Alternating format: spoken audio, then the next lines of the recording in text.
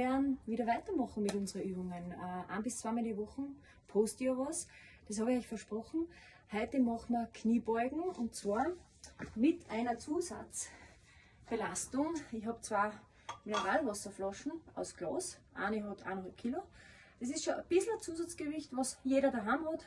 Ähm, ich habe da hinten auch noch einen Fitnessraum, aber ich würde die Übungen so machen, dass jeder das machen kann, ohne sozusagen sich irgendeine Zusatzanschaffung zu leisten.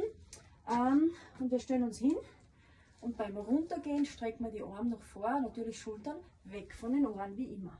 Und durch dieses Gewicht kommen wir weiter runter.